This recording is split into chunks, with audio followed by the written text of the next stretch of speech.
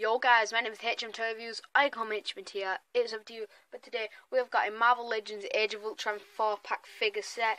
This includes Thor, Bruce Banner, Black Widow, and Hawkeye. Also, I don't have the packaging. That's because I actually got it for my birthday, so I just opened it.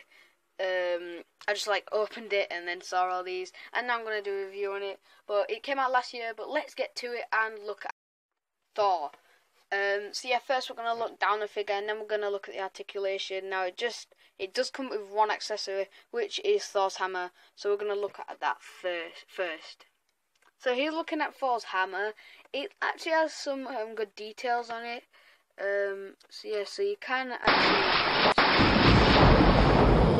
uh, but you can. Oh my god, it's not focusing. Right, you can actually see all the details on there, which is actually really good. Like he's got nice little um, details on the side.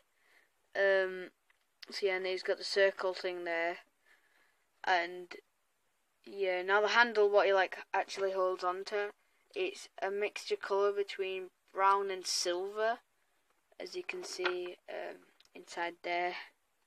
You look very closely, and then here's the little like string thing at the end. Um, so yeah, so it's got pretty good details um, on Thor's hammer, which looks good. And yeah, it looks good. Right, so now taking a look at Thor, um, he does look um, a bit like Chris Hemsworth. I think that's his name. Um, he does look like him a bit.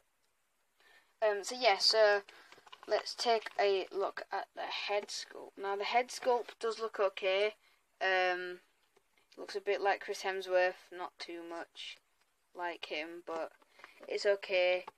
Um, now, I'll go into the articulation segment in a minute, but yeah. Um, I like the hair. It has like good details in there. Like it goes from one sec. It goes oh, it goes from like blonde to um grayish. I don't know what the word is, but I'll have a look. Like if you look there, goes from grayish to um like blondish like his hair colour. And then the face sculpt looks good. He's got the nice bluish eyes. And um, then he's got the blonde beard and some blonde eyebrows. And yeah, the paint came out okay. And you can even see it like tying like his hair there. You can even see it tying, which is pretty good. And then his hair like dangles onto the cape um, which is here. And the cape actually does look pretty good. The um, cape looks okay. Um, it's okay. It's got like a rubberish feel to it. It's not like a plastic one, like a little I don't know what to say. Um, one, but yeah, it looks good. And then there's nothing really inside of the cape. And then here, uh, the detail gets really good. Like it's got the um, six silver like circles here and then all of this is really good detailed. I like all the detail down here. Does it still carry on through there? Yes, it does. You see the blue things there. And his arms look pretty good, just like a normal arm. And the red there, and then he's got the nice little things on his arms.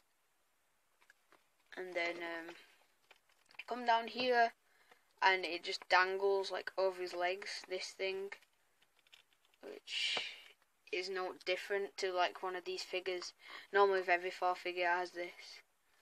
Um, but yeah, and it's got some nice silver and like goldish platinum look to it, and all the silver squares things there.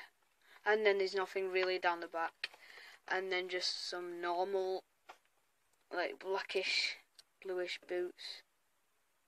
And then you can actually see some of the laces there. And then he does have pickles at the bottom of his feet. He does have some pretty good articulation, but the head, this is the only gripe. The head doesn't move at all. Like, he does have side to side movement, movement, but you can't really get it to look up and down. And it's hindered by the hair that dangles down here. Um, so yeah, but he does have a upper elbow um, 360 there um, he has rotation there, obviously. He has a double jointed elbow, and his hands move 460 around there, and it does move up and down. I think, yeah, it does. Um, there, um, it gets that into more dynamic hammer like holding. Shall say? I don't know what that is, but um, yeah. Moving on down here, he has a great ab crunch, which crunches in quite far. Not the most far, but it's quite far, and then it does move back quite far as well. That far, and he doesn't have a waist swivel. Um, he has an upper thigh rotation, followed by a double jointed knee, and no boot rotation, and his boots feet uh, move up and down, and he does have that awesome ankle pivot. And he does stand at about seven inches tall. Um, I actually didn't count it from the one.